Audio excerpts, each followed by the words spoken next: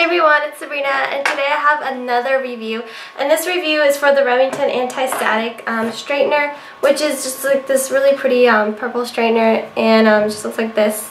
It's very nice and sleek and um, I'm very excited for this purchase and again um, I did purchase this with my own money so all opinions and thoughts will be my own and nobody gave this to me so yeah. I got this yesterday and I read only good things about it. I was looking for a new straightener that wouldn't like pull on my hair because after a while, like the old straighteners that I have, which were cheap, and I know this is still cheap, but I heard just good things, so I thought, hey, I'll give it a try.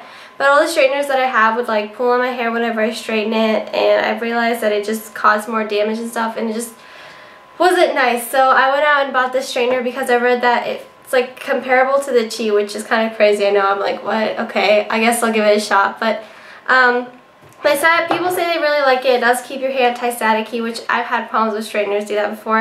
It has a buoyant plate, which means it's bouncy. You guys can see if I push on it. So this is very, very good. So instead of like getting your hair caught, it will just, you know, pull it down in a straight formation. So I'm really excited about using this. I just opened it and um, the packaging was really hard to open. I spent like an hour like ripping it apart. Yeah, don't ask. It was very interesting. I should have totally filmed that part.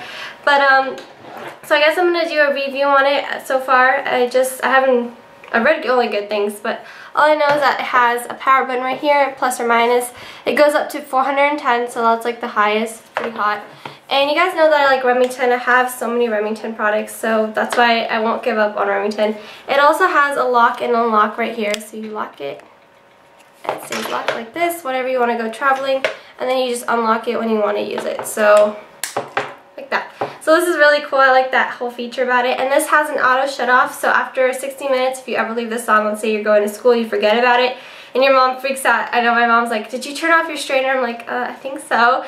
And she'll like freak out and she'll go home. I know she does that. But this time she won't have to go home because this shuts off after 60 minutes. So that's pretty good. But that's good. So I guess I'm going to go ahead and try it out and see what it does. Okay, so I plugged it in and I put up my hair. I recommend taking your hair and splitting it in half, maybe um, using a hair clip. So I put it in and right now it's heating up at 410. You guys can see that. And there's these little lines right here, which is calculating like when it'll be done. So when this is done heating up, it should probably stop doing this or fill up or something like that. I'm not sure what's going to happen. But um, yeah, so I just plugged it in. It smells like burning plastic. That's great. Um, and now I'm just going to go ahead take my Tresemme Heat Protectant. Always make sure to use a heat protectant when you use heat on your hair. And you can get this at any drugstore. So I'm just going to spritz that. And brush it through.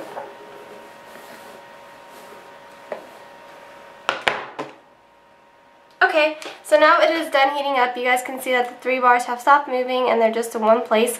So that's how we know if it's done heating up. And again, I put it at the highest setting, which is 410. So I guess I'm just going to take one section of my hair and straighten it.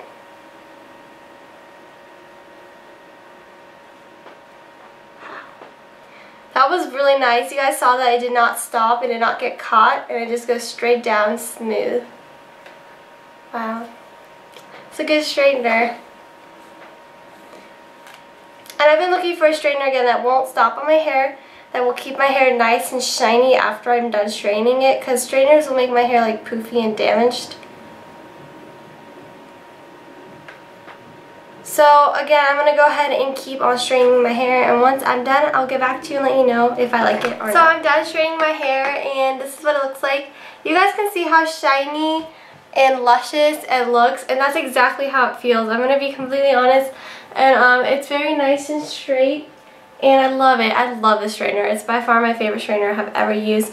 So, okay, yes, I do love this straightener. I'm really happy I purchased this purchased it. I have used the Chi. My hair feels exactly like it would feel after I used the Chi, which means it feels soft and silky. So again, this was a very great purchase. My only complaint is that you have to be really careful when you straighten your hair to not touch this these two plates on the outside, like right here. I know sometimes when we get we get like close to our hair, we want to get closer and closer to straightener to get a good grip on it. But don't do that because I kind of, yeah, you guys can see my fingers are like red. They're like burnt. I kept doing that because I'm so used to doing that. So don't touch that part. Just keep your hand on this part. But I don't know.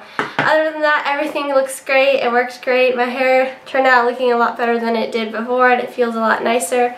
So all in all, I do love the straightener. I'm really happy with my purchase. And if you guys are good looking for a great straightener, um, again, yes, it is anti-static. You guys can see I don't have any more staticky hair, so that's great too. So yeah, all in all, I like the straightener. I recommend it if you're looking for a new one. And um, if you're looking to like for straighteners specifically for staticky hair, this works great too. So thanks so much for watching and I hope you guys enjoyed this quick little review. Bye guys.